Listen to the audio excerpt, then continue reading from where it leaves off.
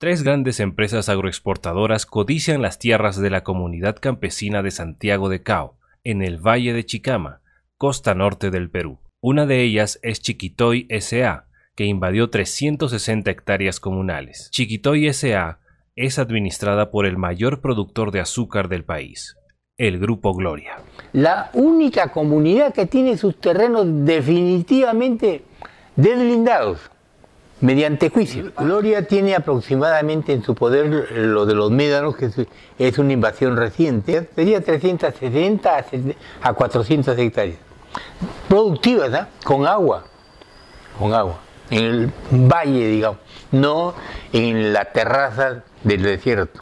Las parcelas ocupadas representan la novena parte del territorio oficial de Chiquitoy S.A. En 2018, su producción fue de 232.309 toneladas de caña en 2.700 hectáreas cultivadas, la mayoría destinadas para la fábrica de Cartavio, productora de ron que también pertenece al Grupo Gloria. El presidente de la comunidad campesina de Santiago de Cao, segundo Alfaro, asegura que planteará a las empresas un proceso para que devuelvan las tierras. ¿El Pedregal tiene litigio esas tierras? Claro, esos son de la comunidad. 500 hectáreas. Claro, por lo menos que la comunidad tiene que resarcirlo a nuestro seno.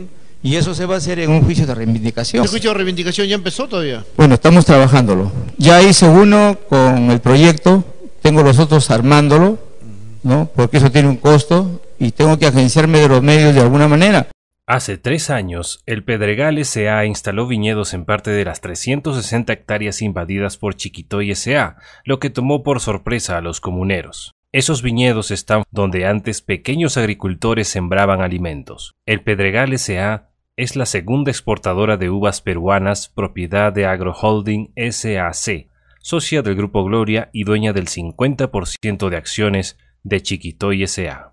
La comunidad tiene problemas eh, de ocupación. empresas eh, o algunas personas naturales han tomado algunas eh, tierras y ellos están usufructuando esas tierras. ¿no? Eso es lo que está perjudicando bastante a la comunidad.